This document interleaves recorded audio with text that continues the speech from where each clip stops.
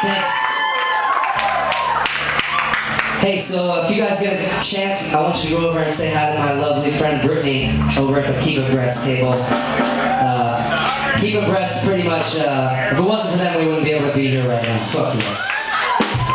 Uh, so go over and talk to her, see how you can get involved in helping uh, breast cancer awareness. And uh, if you want, you can text the word groupies to the number 888. uh, and you can make like a $5 donation. Um, and say thank you to them for all this. Or you can just go over and talk to them.